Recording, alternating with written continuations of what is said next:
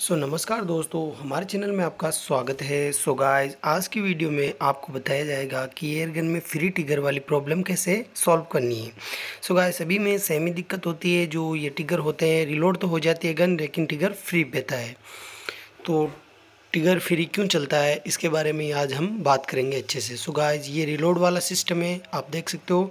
जैसे ही हम इसे पुश करेंगे तो ये रिलोड हो जाएगा। बैक वाली पोर्शन ये स्प्रिंग है जो इसे यहाँ पे होल्ड करेगी टिगर को। सो so, सिंपली ये टिगर का पोर्शन है और टिगर यहाँ से वर्क करता है। तो होता गाइज़ ये है कि ये जो टिगर का पोर्शन है ये रिलोड तो हो जाता है लेकिन इसे वापस रिलीज़ नहीं करता है। इसलिए गाइज़ ये दिक्कत आती है क्योंकि जो ये है देख सकते हो आप अभी ये जैसे काम कर रहा है वैसे ही काम हो जाता है। जैसे कि ये रिलोड तो हो जाती है लेकिन कुछ भी वर्क नहीं करता ना तो टिगर चलता है ना कोई बात। तो ये दिक्कत यहाँ पे देख सकते हो आप वेल्डिंग कर रखी है। जो ये लो का मेटल का पार्ट है इसमें यहाँ पे बेल्ड कर रखा है जो स्प्रिंग के पावर को होल्ड करता है।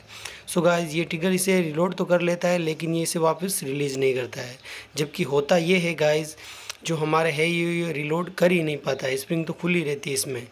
लेकिन ये फोर्शन मेटल का है और वेल्डिंग है इसलिए ये टूट जाता है।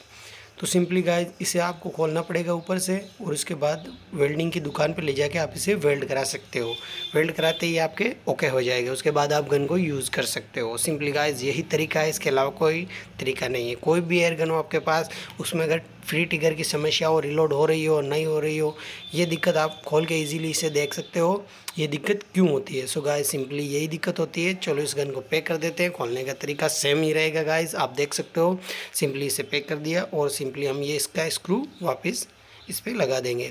सो so गाइज़ आप देख सकते हो, यही तरीका है इसका। इजीली आप इसे हैंडल कर सकते हो। कोई वेल्डिंग शॉप पे ले जाके आप इसे वेल्ड करा सकते हो। इजीली वेल्ड हो जाएगा। सो so मिलते हैं नेक्स्ट वीडियो में।